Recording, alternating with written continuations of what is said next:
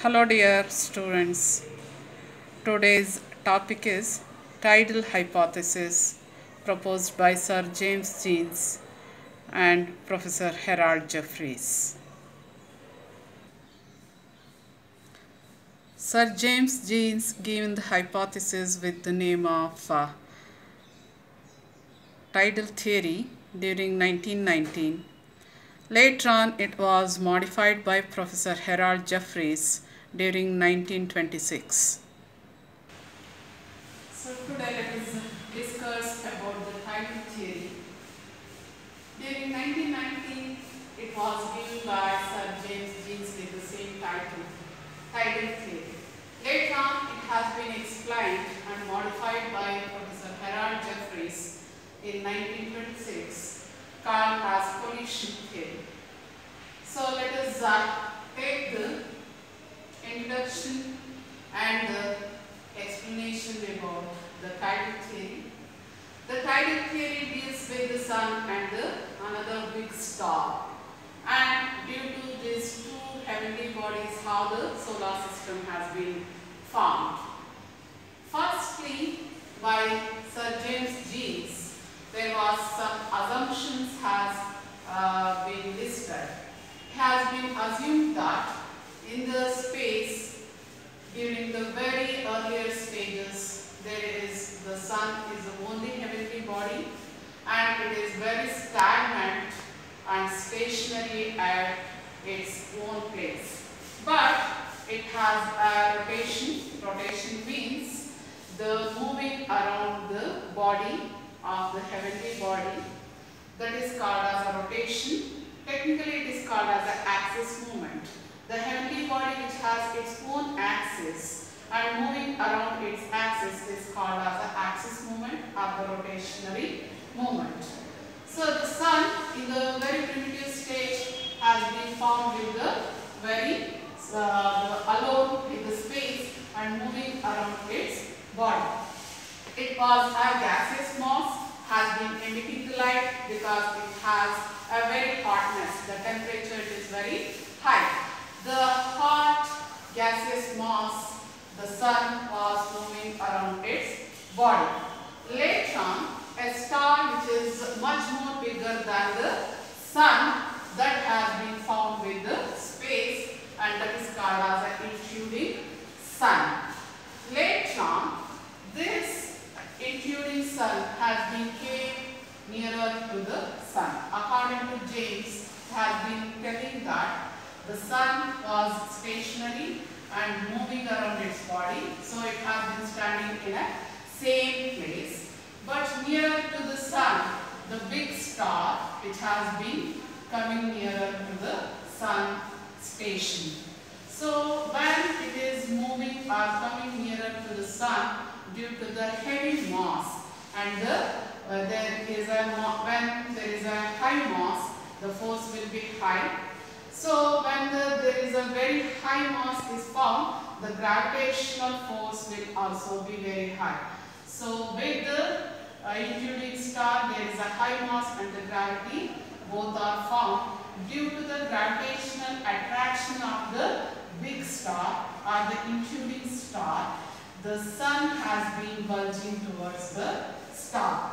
These bulging materials are the elements are called as the tide. The tide is a name given by the James uh, to the bulging surface of the sun. Later on, when the star has been moving on its own path and going away by the sun, the bulged area has been separated by the sun and has start moving uh, and follow the big star. This has been happened due to the gravity of the big star. When the speed of the star it is very high, that is the angular momentum it is very high, so the tides are not able to cope up with the star. They have been stopped in space and came back to the gravity and the attraction of the sun. So in this moment, the tides are the filament The filament, it is a name or uh, the filament, it is a mass has been ejected by the sun. Uh, that tide has been called as a filament by both the scientists.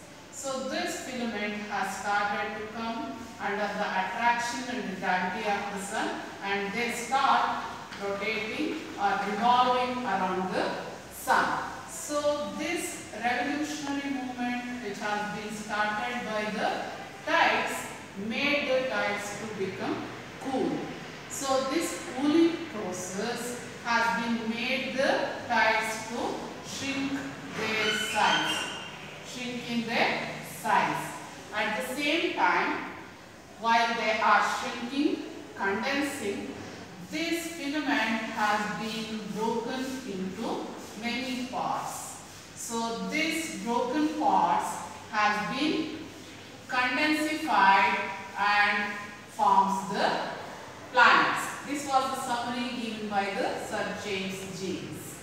Later on, the same theory has been modified by the Harold Jeffreys. He has been told us that there is a primitive sun that is what we have been seeing the sun at present days. The primitive sun was there and there is a companion star was there and the big star has been came. Due to the attraction and the gravitational force of these stars on each other uh, bodies, the collision that is and clashes has been taken place between the primitive sun, sun, big star and the companion star. So this clash has been leads the formation of solar system. This was a summary of Harold Jeffreys theory which was called as a collision theory. So let us see which are the evidences for the theory or the hypothesis. Here the James and Jeffreys have been told that the whole solar system has been formed by the sun and the big star. When we see the whole solar system which has been arranged in a straight line, then it forms the tidal shape that is in a cigar shape. This has been explained by the Jeff, uh, James that the whole solar system has been formed by the tides which are in a cigar shape. So the very smallest planets are situated on the either sides of the solar system and when we are moving from the smallest planets towards the middle part it is bulging and the bigger planets are situated in the middle parts of the solar system. This is a first evidence and the number of satellites and the size of the When we see the solar system, the smallest planets are having the satellites. There is none of uh, satellites, there is no satellites for the smallest planets. When we are moving towards the bigger planets, they are having the high number of satellites. So this has been confirmed in the theory. And when we see the direction of the movement, particularly on the planets, they are moving around our sun in a same direction. So uh, that is a one point. And the axis movement of all planets. All the planets are having the axis movement as the James told us that in the beginning sun has its own rotation movement that is axis movement. So here all the planets are having the axis movement and they are moving in the same direction and revolving around the sun with the same direction. These three points are confirming the theory or they have been considered as the evidences. But at the same time, it has been encountered by many criticisms. The first one, both the scholars and the scientists has been failed to explain the source of the big star, where the big star has been came from and towards which destiny it has gone away. So here the source of the big star has not explained in the theory. Then the second criticism, uh, the scientists, mathematician and the astrologers respectively Levin, Peresky and Razi. Uh, all these three scientists has been encountered the hypothesis that here the distance has not been explained. According to them, this is uh, completely uh, opposite to the law of conservation and the uh, gravitational force because according to them, if there is a high mass, the force will be high. So when there is a high force, the gravity is keep on decreasing. So here the James says that there is a high mass, there is a high force and there is a gravity also being high. So these three scientists have been encountered the hypothesis that it has been failed to explain the distance between the sun and the star as well as the gravitational attraction or the gravitational force. Then the third one they have not explained or not justified about the angular momentum, the speed of the star as well as the sun. According to them, in the very earlier stage, the sun has a rotational movement.